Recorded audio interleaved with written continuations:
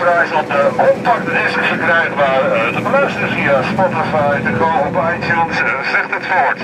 Holland Electro, de kwaliteit die vroeger zo gewoon was.